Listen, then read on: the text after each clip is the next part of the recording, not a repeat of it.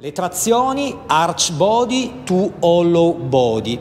Vediamo insieme oggi una routine che mette insieme un po' tutte queste cose e ti permette di capire al meglio, sensibilizzare il tuo corpo rispetto alle varie traiettorie possibili e quindi anche di conseguenza alle varie diverse attivazioni, che poi ovviamente nel tempo hanno finalità, obiettivi differenti, però vanno comunque capite perché un calistenico deve essere trasversale. Ragazzi, sezioniamo un attimino la routine, vediamo il primo movimento, arch to arch body, quindi mantenendoci sempre su una linea di piombo sotto la sbarra.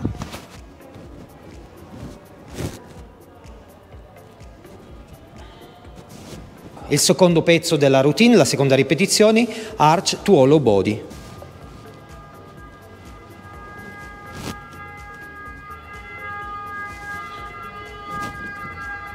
Notare la scodatina del drago quando dalla hollow body mi devo rimettere ritornare a braccia distese ritornando in arch body. Ultimo pezzo della combo, mezza squadra, quindi hollow body to hollow body.